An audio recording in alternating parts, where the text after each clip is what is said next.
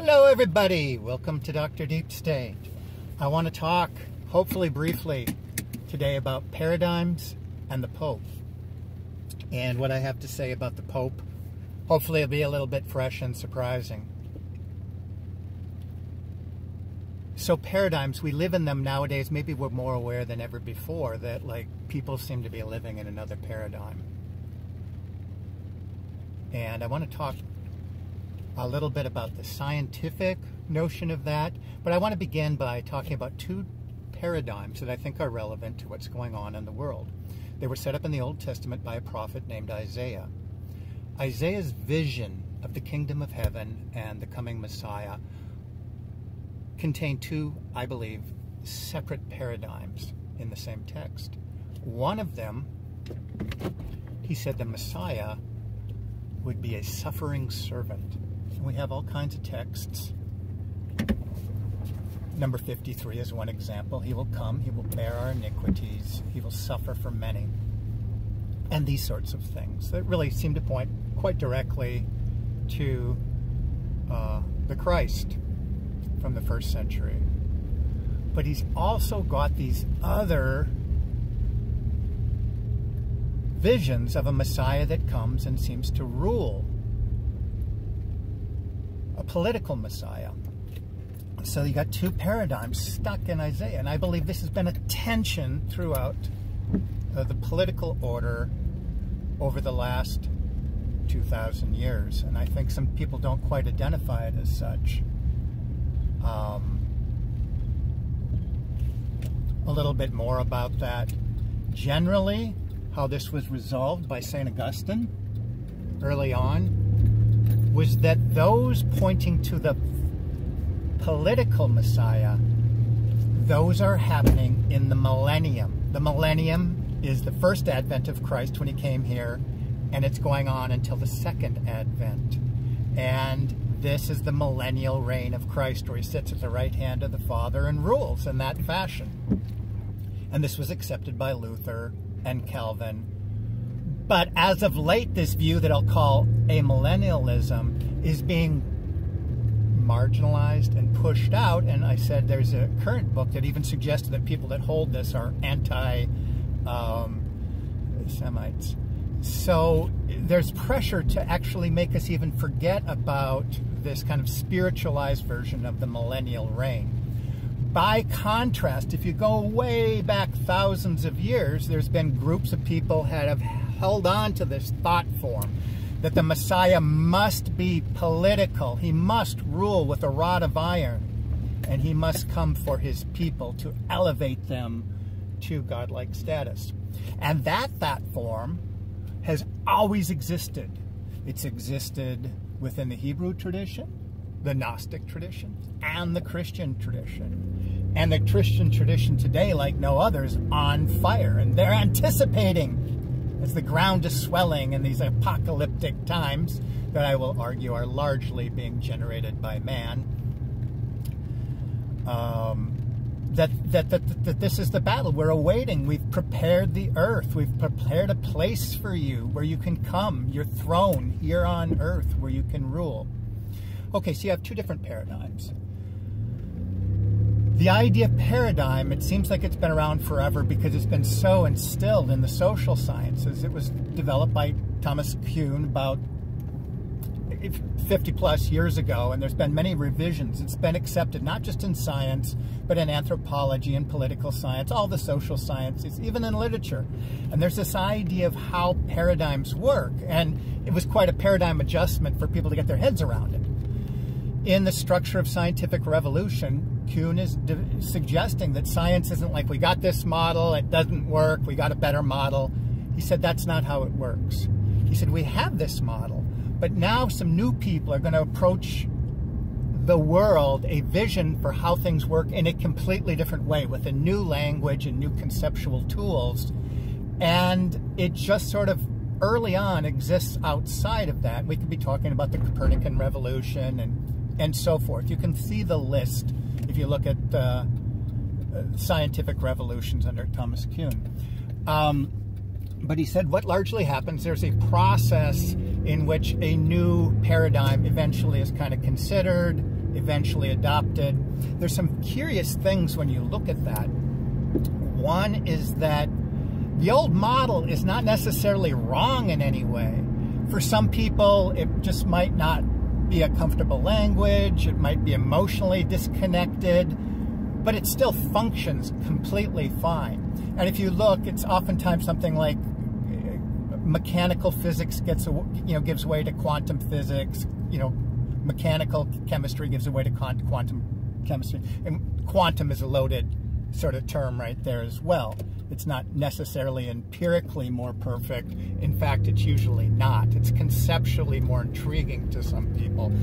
But the point being, when the new paradigm is adopted, how does it truly get accepted? One of the characteristics is the people that held the first paradigm, they need to die off. There is no facts in the world that's going to convince them that their paradigm is incorrect or doesn't work. So the idea of paradigms is that quite literally two different worldviews can be held next to each other and both can completely uh, work.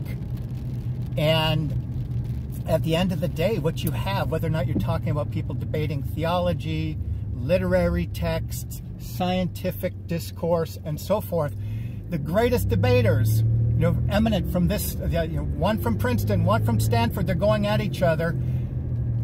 They always end up talking past each other. They're in different paradigms. So what's kind of going on today is nothing really new. It's just kind of being highlighted more than ever before that we see that people literally live in these self-contained sort of paradigm bubbles. And I think it is kind of reassuring or reaffirming that one is not necessarily right or wrong. So, with that in mind, um, I want to get to the idea of how this is being played out and what what paradigm is sort of being pushed or suggested on us right now. And I think this will be best if I just pull over here for a second. And I want to read something from a pope. And what I'm going to suggest to you here, and by the way, I'm Protestant, and this is why this is maybe sort of interesting. What this pope is about to tell us is very loaded and I think completely overlooked. We're living in an age when even many Catholics see the current pope as an antichrist He certainly walks and talks like that many times. And it is interesting to note this idea of the Pope or the papacy being the crest. It's you know 500 years old. Uh, Luther was the first person that mentioned it, and you know Protestants have kind of run with it ever since. And you know it's still big today, especially amongst kind of the, the wackiest fringe of evangelicals. You know everything goes back to Rome, everything goes back to the Vatican. Um, but this is something we need to think about because the Pope here in the paradigm that he's presenting is very powerful. And what does it play in our world spiritually?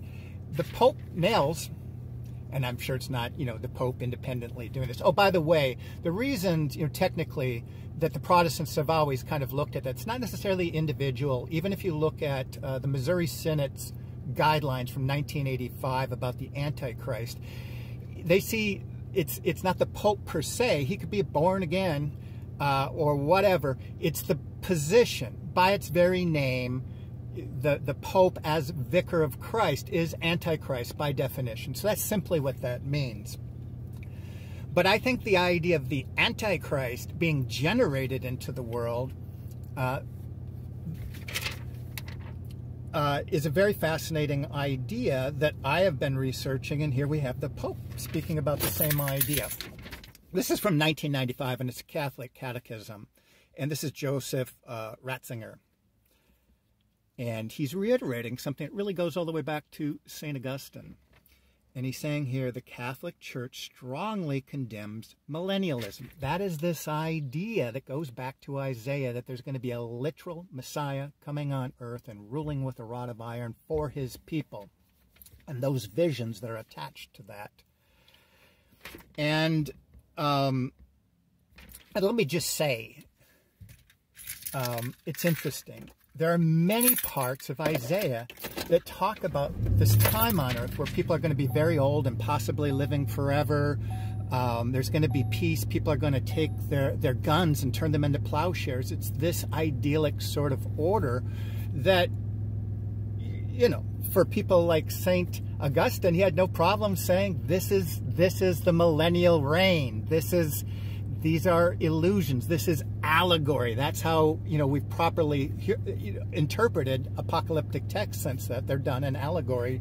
To, but no, um, for this sect of um, Hebrews, Christians, Gnostics, this is real. It's going to be transformed. The world is going to be transformed. This physical world. We're not waiting for the next physical world. So I know this seems a little wacky, but I believe this is the this this is what's going on right now in my mind in the world today.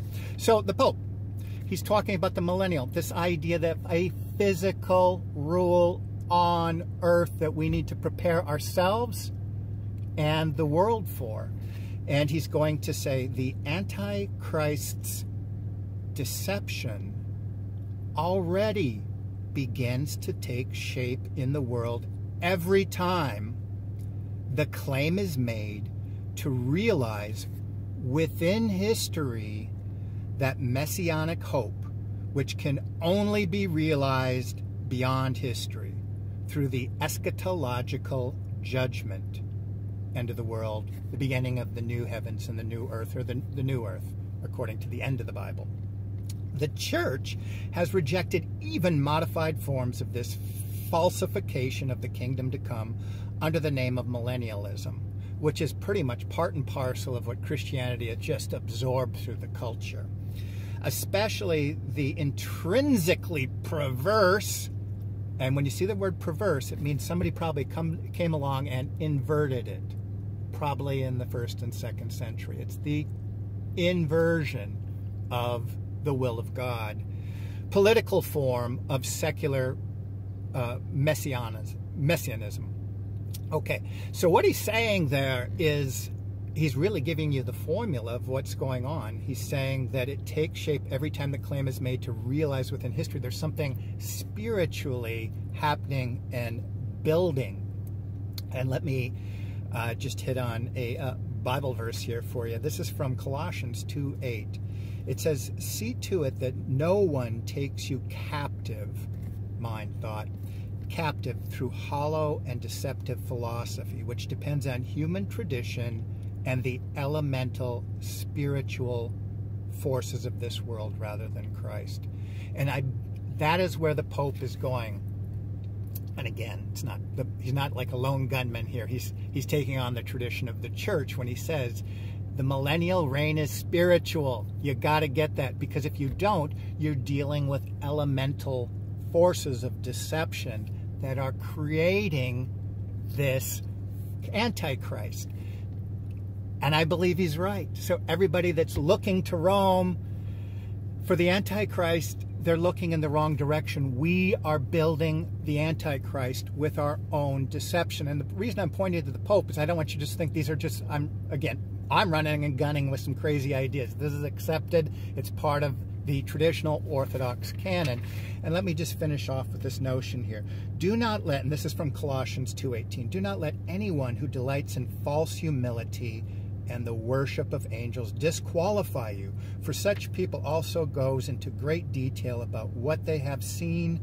They are puffed up with the notions of spiritual mind. So just because someone's charismatic, just because they're hot, just because they feel something, that has nothing to do. You know, the, and I'll, if I get around, I'll do something on the her hermeneutics of this that are just busted right now. And that's why I think people are in a great wave of deception. We're being, we're being prepared emotionally for this, you know, new leg of the